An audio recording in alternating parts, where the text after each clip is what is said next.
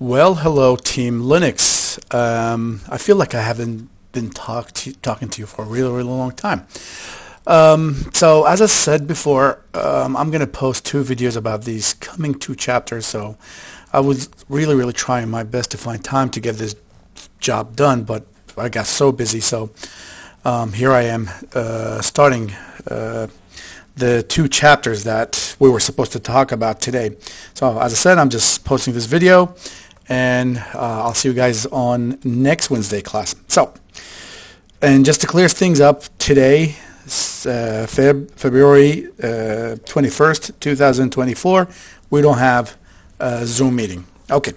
So first thing first, we're going to talk about the first chapter that we're going to cover in this video, and then for the next chapter, I'm going to create a new video for it, of course. Uh, this chapter is all about environment variables. So um, before I jump into uh, environment variable, we need to understand what is a variable. Well, variable, the same concept of that we use in programming in general, is used in Linux. So in Bash specifically, you can create variable. For example, here, this is Python that I have here. I can create a variable. I will call it num1, and I'll send 10, assign 10 to it, and then I can print this variable num1, and it's simply going to show me the value. So variables is just simply uh, a reserved space inside the memory that you're going to identify by a specific name, and then you can assign a value to that variable. And then every time you reference the variable name anywhere in a program, simply you're going to be calling the value that is stored uh, in that memory location, in that location in the memory. So the same concept that we have in programming in general is simply applied here. And by the way, just in case you didn't notice, I'm using super uh, putty here. So um, I can create variables in, in, Linux Bash just like how I do in uh, in any programming language, but we have, of course, some certain rules that we have to pay attention to. So I can come here and say num1, just like I did before, equal 10. So this is me creating a variable with with a value num with the identifier num1 and the value 10 is stored. So if I just want to have access to that just for the sake of printing it, I can come here and say print, sorry, num1. And you can see here, here's printing the 10. Now, this is not the whole purpose, of course, of variables in, in this course. I'm just showing you that what is a variable and what is it used for. But what you should know that in Linux, we have what we call environment variables. Now, environment variables are sort of variables that are going to be created by the shell. And the environment variables are simply going to be storing some values that are very, very important for the operating system, for the bash, and for you as a, as, uh, as a user for that operating system. And we're going to see a lot of these variables. And for now, I'm just going to show you the most important one, in my opinion, which is uh, the path variable. If you type path, it will show you those this text that you see here. Now this text is very, very important because this text simply tell Linux where to look uh, every time you write a command. Every time you command, by the way, any command that you write is simply a, uh, you can think about it as a program, and that program needs to be executed. So by typing the command, the first thing the Linux operating system will do is just to search in the path using all these uh, absolute uh, paths that you see here, searching for a program that will match the name of the command that you typed, looking for it. Okay, so at a certain point you will uh, need to learn how do you modify it and how do you update it and how do you change it. But this is one of the variables. But there's one variable that we already learned about before. It's called shell, and it's going to tell you the location of the default shell that you're using in this uh, operating system. So those are what we call environment variables. Okay, now as we go through the semester and the more you learn about the operating systems, the more you know about these variables and how you have access to them and how do you modify them, what is the meaning of these variables and what is the meaning of their values, the more you be familiar with the operating system and the more you have control over the operating system. So it's a process of learning more and more about uh, Linux, and one of the most important parts is to learn about these environment variables, which we're going to see in a, in, in a sec. how do we have access to them? how, do, how do we have a look at them? So, one thing you also should know that variables usually are categorized into global variables and local variables. Okay, global variables again uh, are created by the shell uh, sessions. Uh, and let me just make sure that I get this right.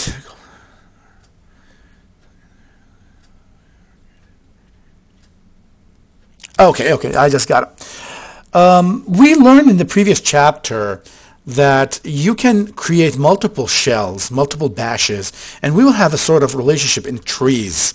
Okay, so every time you, you create a variable that is outside of a shell, and when you create a new shell, the variable that you created before you you you you, you got into a new shell, uh, it's simply considered as a global. And every time you create a global uh, a variable within inside the shell is considered as a local. It's the same concept in programming, depending on where did you create the variable and the accessibility for the variable. It's not really a big deal, but you should know since you can have multiple shells running in your computer in your in your computer system, and you know that there's that tree relationship between them. So when a variable is created, you need to understand if that variable is a global or is a local for the current bash that you are uh, utilizing and you are using. So for example, this variable that I created before num1, if I come here and create a new bash, if I type bash for example, now this is a new bash because if I say ps, it will see that I got two bashes and I believe this is the parent and this is the dash.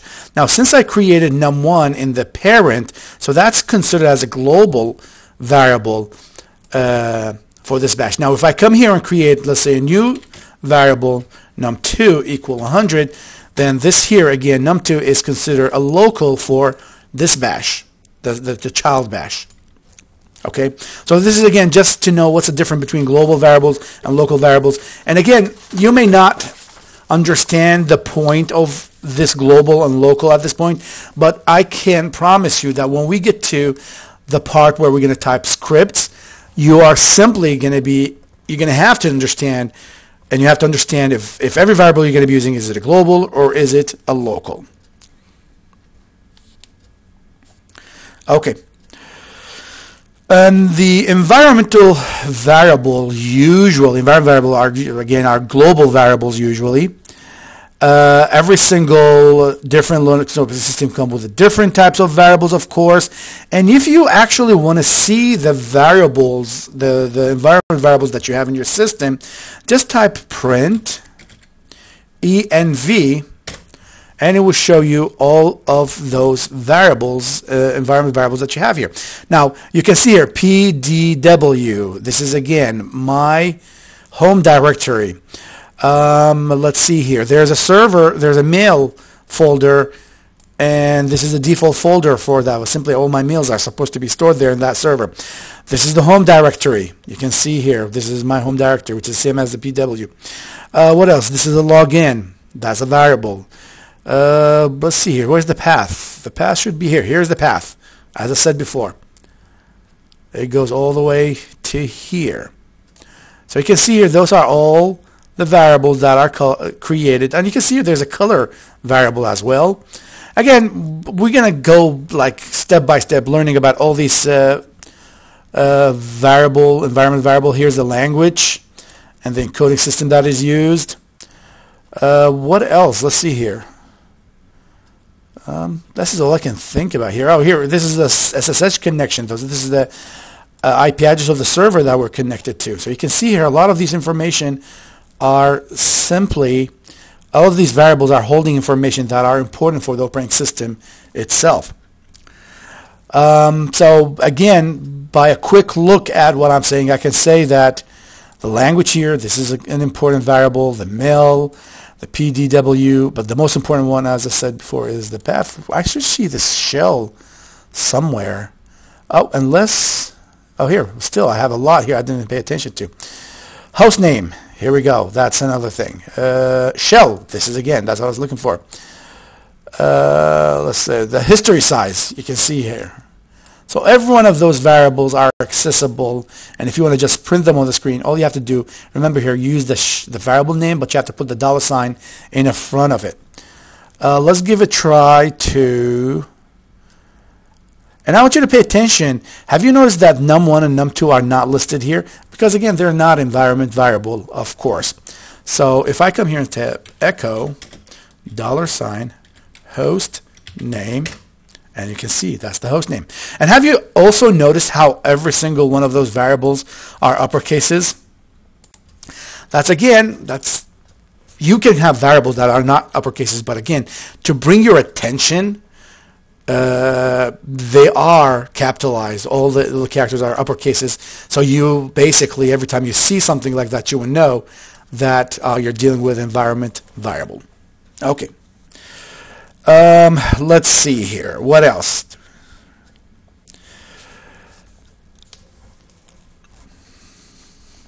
Okay. I'm just uh, ha- I'm ha- I have the PowerPoint in the other side, so I can uh, follow the track of uh, the subjects. How do you create your own local variables? As, as I showed you that before, the idea here that you have to pay attention, there should no be spaces. Like, let's see here. If I type num1 and I put a space and I put 10, that should not work. And you can see here, it's not working. So you should not have spaces whenever you want to create a variable. And whenever you want to have access to a variable, remember here, you have to put the dollar sign as you are reading it. Now, if I, let me just show you what we can do with variables just to give you an idea. Before I go back to the environment variable, I can say, as I have num1 and num2, so if I echo dollar sign num1, oh, wait a minute, where's that? Oh, uh, let's see here. If I echo num2, I can have access to it, which is 100. Now, if I kill bash, if I want to go back, if I type exit, now if I go ps, you'll see that I have only one bash. Now if I echo dollar sign num1, and you can see that I have the 10. Okay? So let's go ahead and create another variable here, num3 equal 20. Oh, wait a minute. Why is he complaining? Oh, there's no dollar sign here. My bad. Now, if I echo, and let me try to do this, num1 plus num2. Oh, he didn't like it. I think I should... Wait a minute. I forgot about this. No, he doesn't like it that way. I just forgot about how to do that. Well, when we get to get to the scripting side, yep, he didn't recognize it. There, there is a way I can add them together to show the results. But I, let me see here. If I say num equal dollar sign num1 plus dollar sign, oh, wait a minute. I called it num3. Probably that's the reason. Let me go back. 3. Well, he's just going to print them as if they were a string. But again, he took 10 and he took the plus as it is.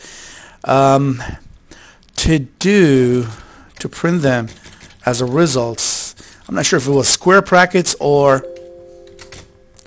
Nope. I think it should be square brackets. And yes, square brackets. That's what I thought. Anyway, this is again just to show you how do you deal with variables, how do you create variables, how do you have access to the values of variables. Um, and it's really, really something very simple. Now, when it comes to the variables, and the naming of the variables, you should know that there are certain rules that you have to follow when you create variables. Most of the rules that we have here are very similar to the rules that we have in programming in general, but in Linux in general, you are only allowed to use letters, digits, and underscore, and you cannot start with digits. And of course, variables are case sensitive, so num with a lowercase num, uh, characters is different than num with up, uppercase characters. It is a case sensitive. Um, you should not start with a digit, as I said. Uh, those rules are very, very similar to C and C++. Uh, in Java, you can use the dollar sign, but in, in, Linux here, for example, you cannot use the dollar sign. And one of the, th- the things that I found a lot of students make mistakes with is that they actually use spaces sometimes. And in Linux, you're not allowed to use spaces when you create variables because spaces are considered as a special characters and you should not use special characters. Okay? Uh, one of the things that I like to ask in exams is give you some variables names, and I ask you to tell me if those are valid or invalid. So that's a very, very important uh, thing to be able to do. And as I showed you before, that local variables are only accessible in the bash or the shell that they were created at.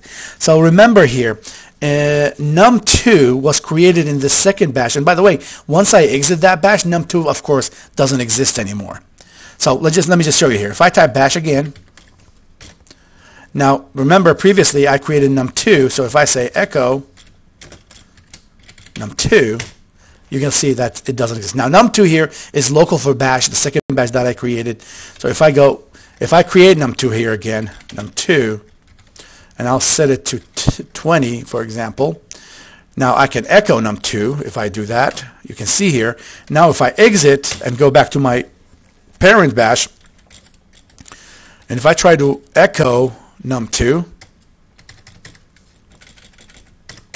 Simply, it would not show me anything as an indicator that num2 doesn't exist here. So you have to pay attention for this fact, like every single variable it's created simply is local for the bash session that it was created at. Okay, now, how do you create a global variable, okay, in, in Linux? Global variables are created by simply using the keyword export to make the local variable to be converted to a global variable. And let's give this a try. Now, if I go ahead and type PS, you will notice here we have only one bash. Now, if I go ahead and sh show me num1, it's 10. Show me num3, it's 20. Now, if I create another bash, and if I come here and say echo num2, of course, it will not show anything because again, we, we exit it. And if I type 1, it doesn't exist. And if I type 3, it doesn't exist inside that bash. So my job and my goal here is to simply convert, let's say, uh, num3 to be a global variable. Okay? Now, if I go again here, PS, you will see here, I got the bash. And if I go echo num3, it does exist. Echo num2, num1, it does exist.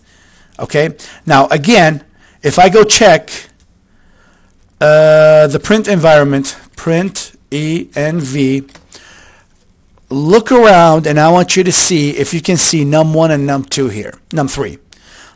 Now, of course, because again, they are all upper cases here, it's really hard for us to see that variable. Now, if I want to, again, to create a variable and for that variable to be a global variable, uh, all I have to do is to use the keyword export. So export,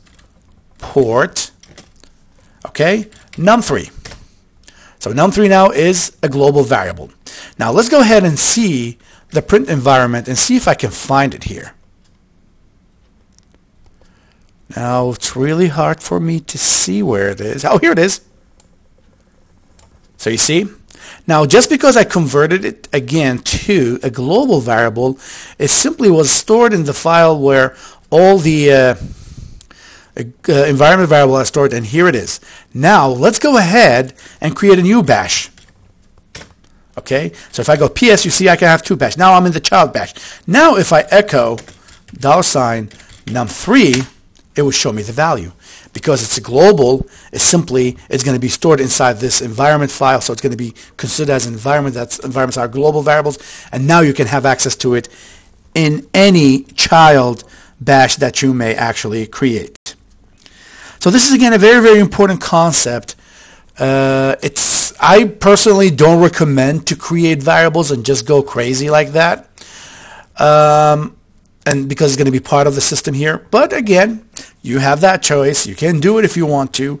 And one thing you should know, once you restart the session, uh, if you go back, you probably will not be able to see that variable stored there. It's simply going to be wiped out. So once you converted that variable into a global variable, it's going to be stored here with the other uh, environment variable.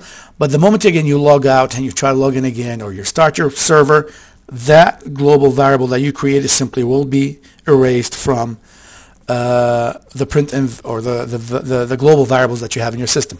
And also you should know that there's a way you can save it if you want to, but the book that we're using decided not to talk about it because I'll tell you it's not an easy job. Okay, so um, I'm just going with the PowerPoint to see if I'm missing anything. Those two chapters, to be honest, are really, really easy. They're not that complicated. It's just about the variables, and there's a lot of exercises that I highly recommend that you guys go ahead and try them yourself. Removing environment, okay. Now, if you want to remove environment, uh, remove a variable, you can do that by typing unset, okay? Now, let's see how is that going to work if we want to remove uh, if we want to remove a, a, a, variable. So let's just go back here and let's do this. Now, if I go PS, you'll see that I'm still have the two bashes, so I'm inside the child bash.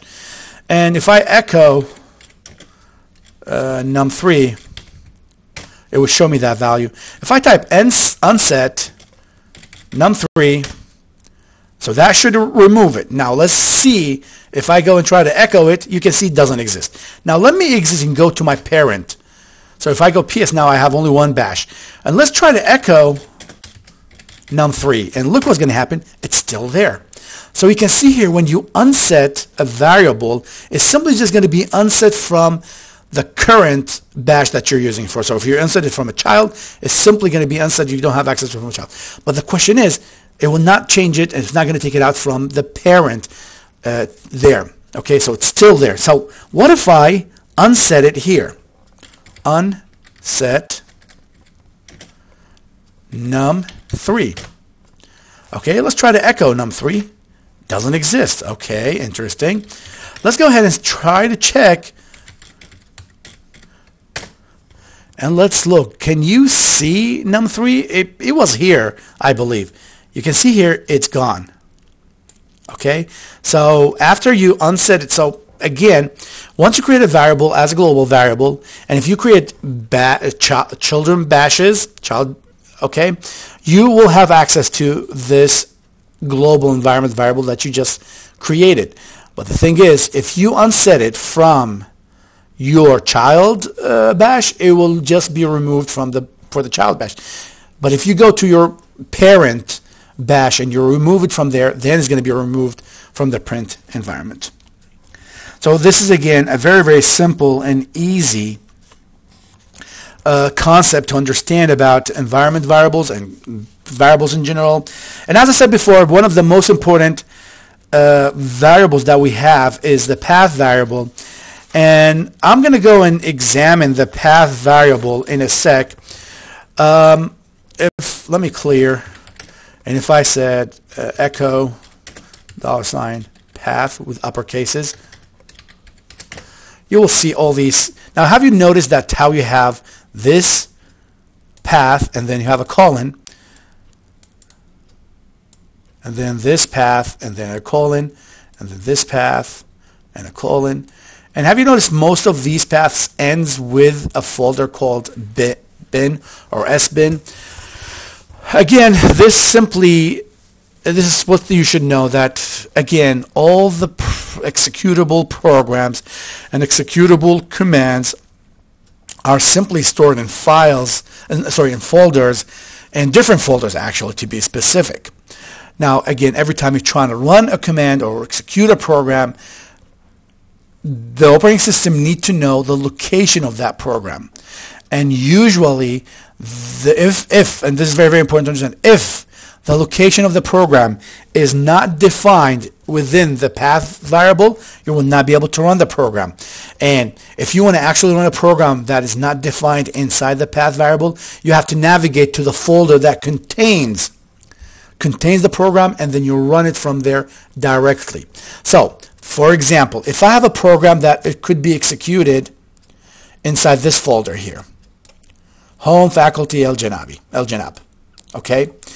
So if that, if this folder, for example, doesn't exist in the path and I try to run it from anywhere in the per, in, in my operating system, it will not be executed because it doesn't know where it is.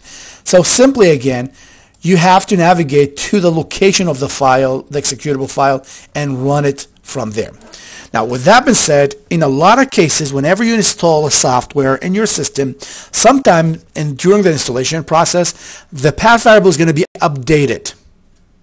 Okay? Or the file will be installed, the executable file will be installed in one of those directories. But if, if the new file, the executable file that you're going to install is not within those path that you see here, then there are two possibilities. One possibility that the program, as it's installed in your system, will go and update the path file and adding the location with the path for the new executable file, or it's going to leave it to you to do it manually. Now, doing it manually is not a complicated process. It's really, really uh, easy. Okay? And uh, to do so, um, there's an exercise in the PowerPoint that I want you to give it a try by yourself. He wants you to go to a folder called, well, you know what, let's just do it right now. What I'm going to do, I am going to go and copy. There is a user, bin, date. Okay? So date is, a, is an ex executable file that's located inside the bin folder inside user. Now let me just uh, show you something. If I type date, you will see that it's showing me the date and the time right now. So what he wants you to do, he wants you to copy that. Okay, so cp uh, backslash usr backslash bin backslash date. Now where does he want you to uh, to your home directory? So my home directory is home. Uh, you know what? I can just do it like this. And what I'm going to do, I'm going to create a new folder. I'm going to call it a new folder. Okay? Now, let's uh, let me show you what happened. This date, if I go here and type ls, you'll see that new folder has been created. If I change my directory to the new folder, and if I type ls, you'll see date here. Now, if I type date, it will work. Okay?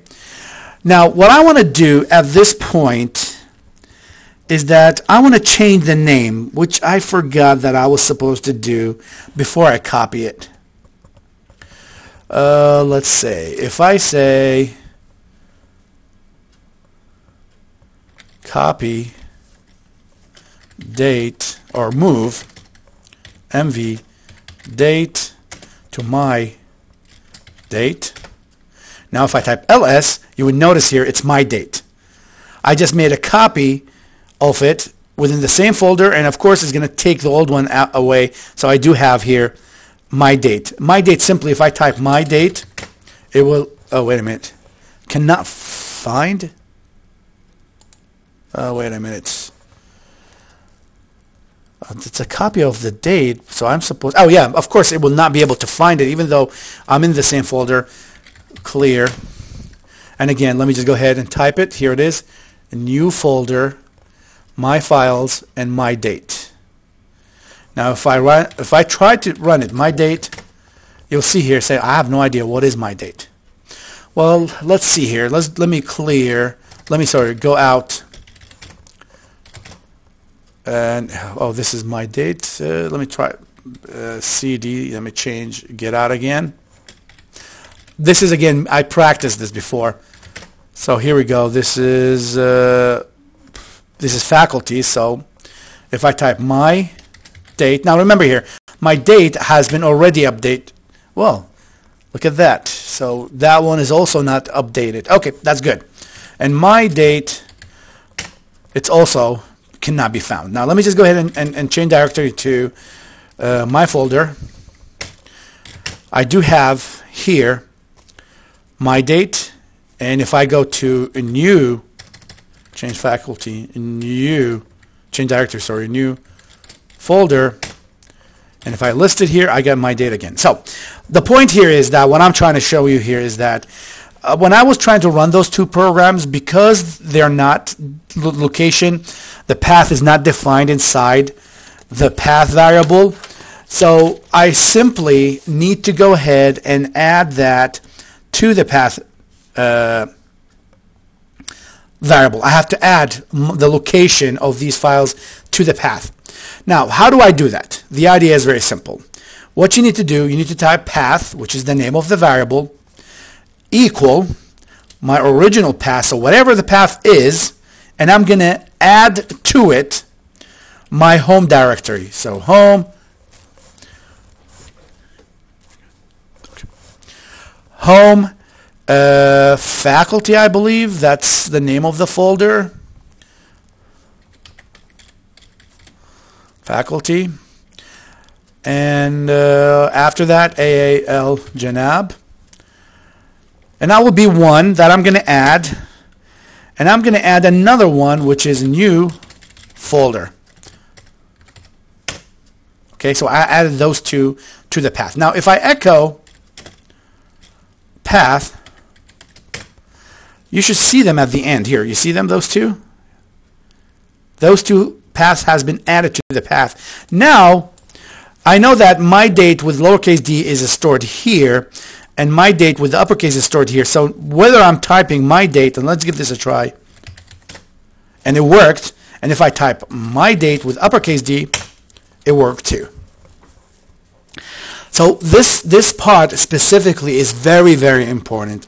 Every time you run a program and you get this message of, uh, where is it? Let me just go back. Where, where is it? This is the path. Oh, it's not. It's not. I can't see it anymore. Anyway,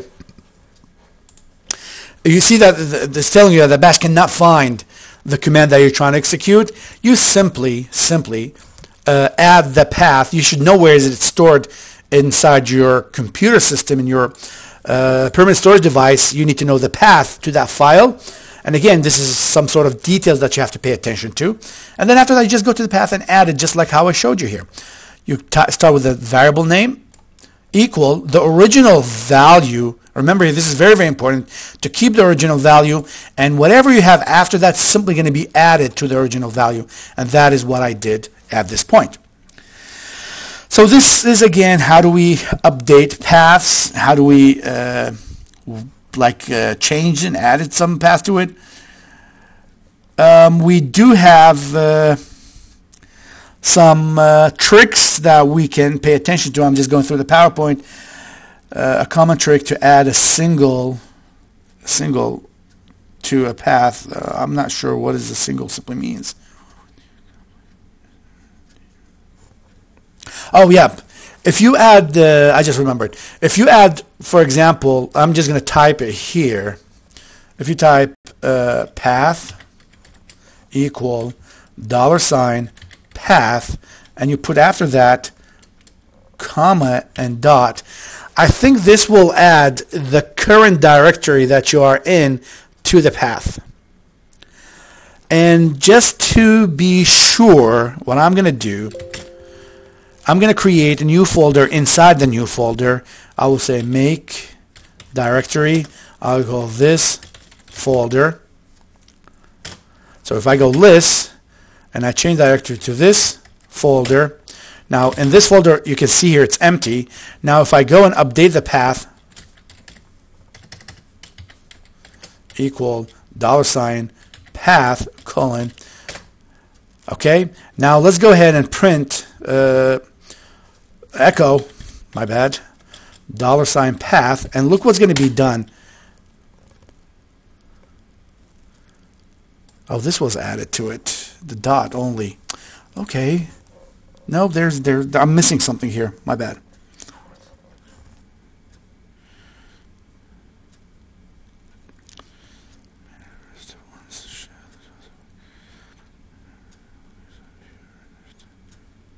Anyway, um, I'm pretty sure I looked for this and I I I, I kind of think I know what the dot will do.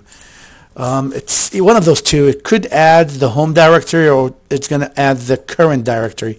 But now I just tried it. It just added this dash, colon dash to it.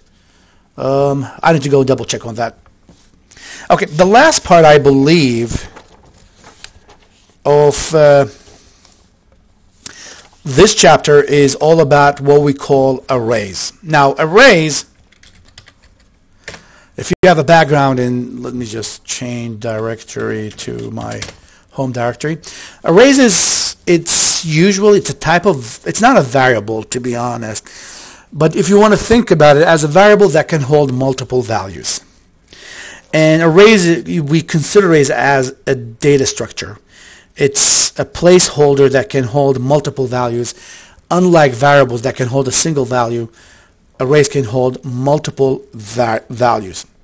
Okay, the same rules that uh, are applied to the name of the arrays is uh, to variables is, is, applied to the array uh, uh names. And uh, if you want to create an array uh, in the bash environment, it's really easy. All you have to do is to have the name, for example, my array, equal, no spaces, remember, you open a parenthesis and you close and you start listing the values you want to set there. Now values could be numerical values, it could be strings. Uh, one fact that you should know is that if you want to use, again, there, those values are going to be separated with, with the spaces. If you want to use one element that contains multiple words separated by a space, you have to surround it with double quotations. So if I come here and say, sorry, without double quotations, Monday, space, Tuesday, uh, Wednesday, Thursday, Friday, Saturday, Sunday, and then after that I want to put week and week and days. You can see here, because I want, oh, not weed, week. Oh, come on. I pressed, oh, wait a minute. I can't. I have to go backward. Week and week days. Okay, if I want, if, if, if I take those double quotations away, uh, this is going to be element, this is going to be element, element, element. But because I want them all to be a single element, then simply put it this way. Now, if I echo my array, remember here, you have to put the dollar sign, it's just simply going to show you the first element. Okay? Now the question is, what if I want to have access to other elements? Well, the idea here is very simple. Number one, let's go one by one. If I want to have access to any element, you have to put the uh, dollar sign, curly brace, close curly brace, and then you tell me the name of the array, and then square brackets and tell me which element you want to show. Now remember here, if I put zero, he's going to show me the first element. So we start counting from zero. So the zero here is what we call an index. And every single element here has an index. And we start counting from zero. So this is index zero, index one, two, three, four, five, and zero, one, two, three, four, five, six, seven. Now remember here, this is how we have access to, you can see here Tuesday, if I go here and put three, Thursday, and so on. And of course, just like I showed you before, if you just sh- tell the show me array itself is just simply going to show you the first element if you don't indicate and you didn't specify um, which element you want to you want to show. Okay. Now, one of the things that you, tr- you should try to avoid is to put a number that passes the last index. 0, 1, 2, 3, 4, 5, 6, 7, 0, 1, two, three, four, five, six, seven. So if I put seven here, it would show me that. But if I put eight, it would not show anything. Okay? Because again, th- this is your limit and you're trying to pass something that doesn't exist. You should know that in programming, in general, if you try to do this, you will get an error message. So, what if I want to have access, and sorry, what if I want to show all the values? You put the and, at, sorry, and it will show you all the data that you have in your uh, array. Now again, why is this important? At this point, it's not important. But when we're going to go, and, and believe me, when we get to the part where we're going to write scripts, that is where uh, those elements are going to be very, very useful. Now, if you want to display the number of the elements you have in an array, all you have to do is to put the pound sign here, and this should tell you how many elements you have here, and you have eight elements.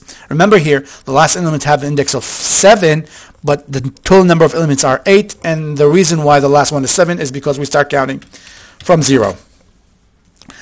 Um, we can change the values of, uh, of an array. For example, my, did I call it my array?